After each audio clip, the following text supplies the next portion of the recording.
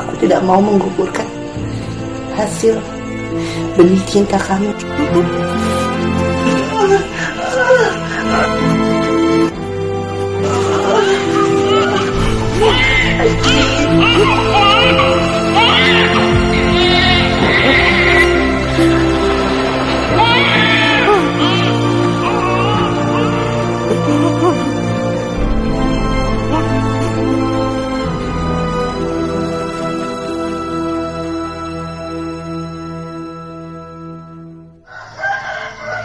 Alhamdulillah anakku lahir selamat.